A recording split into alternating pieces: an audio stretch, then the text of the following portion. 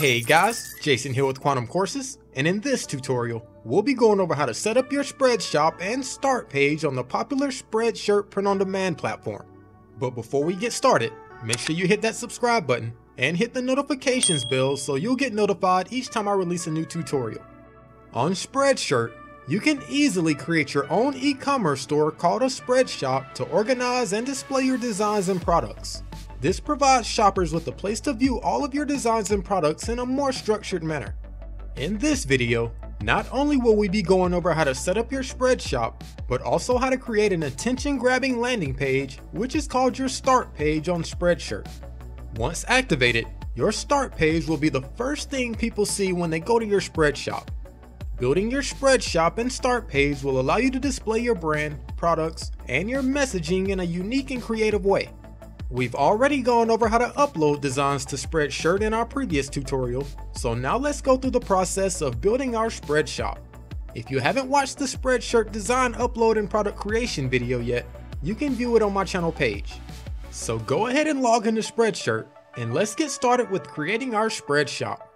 Once you've logged in, go ahead and look up at the top right and click on your account drop down menu. To get started, let's click on the Overview tab to go over to our dashboard. Here's where you can view all of your notifications, see your sales, and manage your account. To create your start page, you'll need to have some designs uploaded, so hopefully you watched our previous tutorial. For my example Spreadshop, I've already uploaded a few designs that I plan to add to my start page. So after you've added about 5 or 6 designs, look at the menu on the left hand side, go all the way down to the bottom, and click on the little plus sign icon here. This is where you go when you're ready to set up your Spreadshop. When you click the tab, you'll see a window pop up explaining the benefits of your Spreadshop. Once you're ready, go ahead and click on the Open Shop button. You'll then see another box pop up where you can name your shop. I'm gonna name my example shop the same name I use for all of my example stores, Quantum Designs. Once you're finished, go ahead and click on the Open Shop button. This will then take you to a page where you can select a theme for your store. They have several different themes you can select from depending on your design and style preference.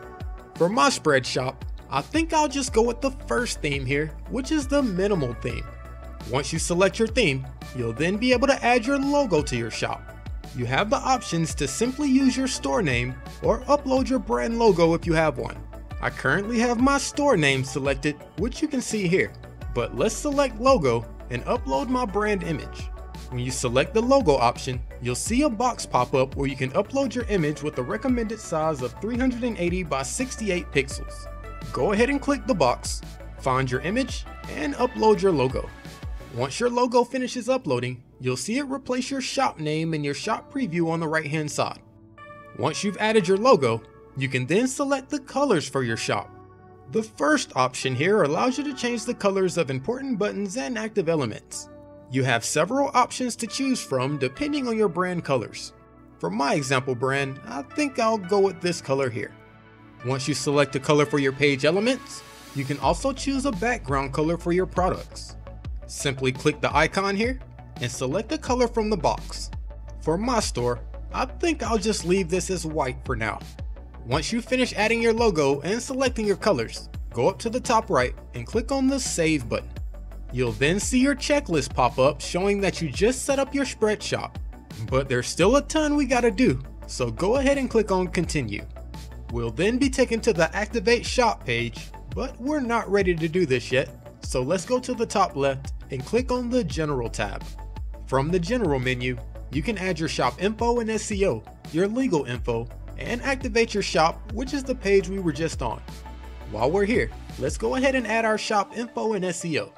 This is where you can update or add your shop name, description, and your shop URL. Your shop name and description should match your Spreadshop to improve your search engine ranking. Underneath your URL name, you can also see a preview of how your shop details will look in search engines. Once you're finished, go ahead and click on the Apply Changes button, then go back up to the top left and click on the General tab. If you like, you can also update your legal information here, which is simply your business name, address, and other information. Once you're finished, go ahead and go up top and click here to go to the previous shop settings page. So we've already gone through the general tab, now let's check out the page settings. here's where you go to start setting up your Spreadshop start page. Let's click the start page tab and check out the settings. Here's where you can set up your shop landing page or start page by setting up elements such as your teaser, your heading and brand description, and your product previews. If it's not already, make sure your start page is activated by clicking the tab here. In this tutorial, we'll be setting up a basic start page to help you get started. Hopefully you've already uploaded some product designs to Spreadshirt to add to your start page as well. So the first thing we're going to add is our teaser. Let's click that now. Here's where you can add your shop cover image, your headline and description, and a call to action. If you don't already have a cover image for your store, you can search the library here to find a good image for your shop. Feel free to browse the images here, but if you like, you can also upload your own custom background image. If you click the upload a file box here, you can upload your own custom 1400 by 400 pixel background image. For my shop, I've already created a custom teaser graphic using Canva. If you need help creating your logo, banners, or even your t-shirt designs, make sure you click the link below to check out Canva Pro. They have tons of pre-made design templates that you can use for your store graphics. When you sign up using the link in the video description, not only will you get access to the t-shirt design and banner templates, but also tons of royalty-free images that you can use for your designs, professional text templates, and even the background remover tool that allows you to remove the background from any image. With Canva Pro, you can easily make your image larger and download your design with a transparent background. Canva Pro is a must-have for print-on-demand sellers. To try Canva Pro free for 30 days, make sure you click the link in the video description. So now that I've created my banner, let's click on Upload a File and find my banner and add it to my store. Once your teaser graphic finishes uploading, you'll see it appear in the upload image box here and also in your preview on the right hand side. Now that our store has a banner, we can now go down and add a headline and description. This will be the main text that goes at the top of your page and in front of your banner. Make sure your headline and description accurately describes your store and grabs your customer's attention. Once you add your headline and short description, you can then go down and edit your call to action. Right now I have a button selected, which you can see under my short description on my preview here. But you can also change your call to action to a search bar so customers can search your products on your start page. For my shop, I think I'm gonna use the button. In the text box here, you can also change what your button says, but I'll leave mine as shop now. Under the text box, you can use this drop down menu to select where you want your button to point your customers. I don't have much in my store yet, so I'm just gonna leave it on all products. Also, make sure you check the tabs here to make sure all your elements are enabled. Once you're finished, make sure you go down to the bottom and click on apply changes. Now that we've created our teaser, let's go back to the main menu and select the next element for our start page. Since we've already uploaded a few designs to Spreadshirt, let's edit our product preview tab. Here's where you can edit the featured products that customers will see when they visit your start page. I've already uploaded some designs, but I haven't created any products yet. So let's click on the create products button here and see if we can add some products to my start page. This will take you to the page where you can view the designs that you've uploaded to Spreadshirt. Although all of your published designs should already be for sale on Spreadshirt, they still haven't been added to your Spreadshop sales channel yet. If you click the edit button on the designs you want to add to your Spreadshop, it'll take you to a page where you can edit the sales channels for your design. Simply click the edit button in the sales channels section and it'll take you to a page where you can activate your Spreadshop as one of your sales channels. Make sure you click the tab here to activate your Spreadshop. Once you're finished, go down to the bottom and click on apply. If you look at the bottom right hand corner of the design I just added to my Spreadshop, you'll see my shop icon appear. This confirms that my Spreadshop is now one of the sales channels for this design. Go ahead and go through the same process for all the designs you want to add to your Spreadshop. Once you're finished, go ahead and check over all the designs you selected and make sure you see the Spreadshop icon at the bottom right. If everything looks good, let's look at the menu on the left hand side and click on our Shop tab. We can then click on Page Settings, then click here to go back to our Start Page menu. From the Start Page menu, scroll back down and go to the Product Preview tab. As you can see, my page preview now shows my featured products.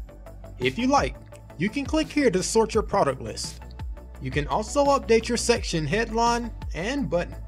For my shop, I think I'll change my headline to featured products and my button to view more. Once you're finished, go ahead and click apply changes at the bottom.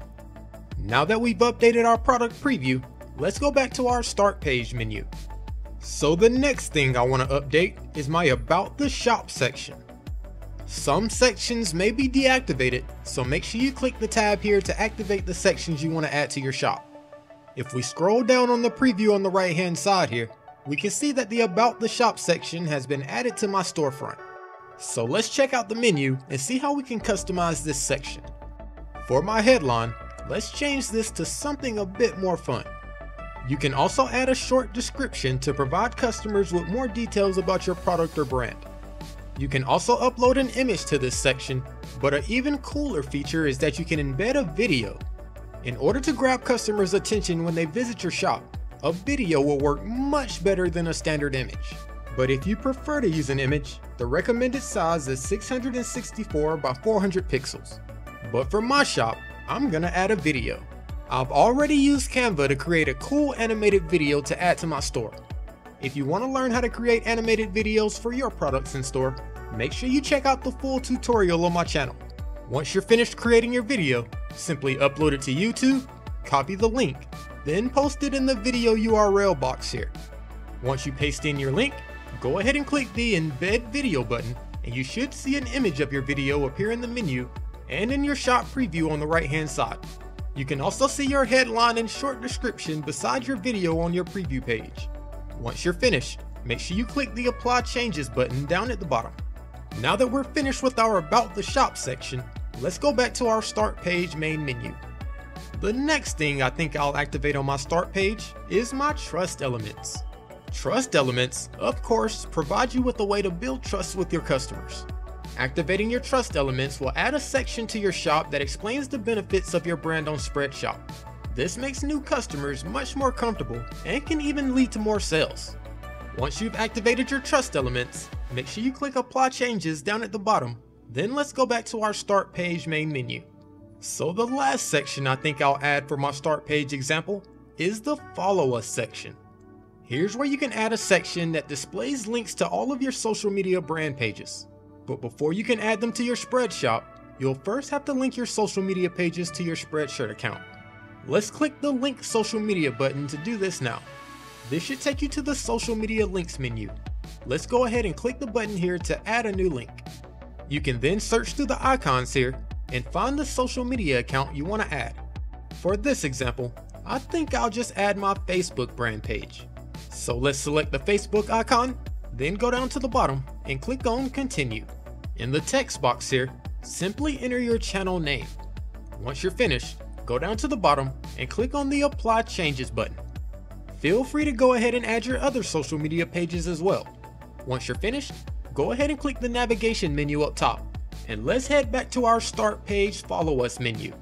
Now that I've linked my Facebook brand page to my Spreadshirt account, I can now activate the Follow Us section and add a headline and short description. Once you're finished, you'll see the follow us section with your headline, your short description, and your social icons appear in your shop preview on the right hand side. Your customers will now be able to click your social icons and be taken to your brand pages. Make sure you go down to the bottom and click on apply changes. To finish up, I think I want to remove this last section on my shop teaching people how to get started on Spreadshirt. Although it's cool, I don't think I want it on my start page. So let's go back to the start page menu go down to the bottom and edit the custom tool banner section. To remove any section from your start page, simply go to the menu and deactivate it by clicking the button here. Whenever you make any changes, make sure you go down and click on the blue apply changes button. So for my start page, I now have my teaser, my product preview, my about the shop section, my trust elements, and the follow us section with my Facebook brand page. To get started, I think that's all I'll need for my shop for now. But feel free to add even more sections and elements to your shop if you like. So let's look up top and click on the launch shop button. And voila, you've just activated your Spreadshop and start page. Now that it's been launched, let's head over to my Spreadshop and check it out. So here's my Spreadshop start page that we just created. We have my brand logo at the top, my teaser with my banner, my headline and description, and a button to my products. My featured products, which you can change or rearrange if you like. My About the Shop section with my headline, description, and my video. My trust elements, and my social media links. When customers visit your shop, they can click your social media links to visit your brand pages. If you scroll all the way back up to the top, you can also search through all the products in your shop by using the menu here. If we click on hoodies and sweatshirts, we can see all of your designs that are available on the hoodies and sweatshirts on Spreadshirt. Customers can easily browse through your products, select the one they like, and make a purchase. So that's a quick overview of how to build a basic Spreadshop start page. If you enjoyed the video, make sure you hit the like button and subscribe to the channel. Thanks for watching, and I'll see you next time.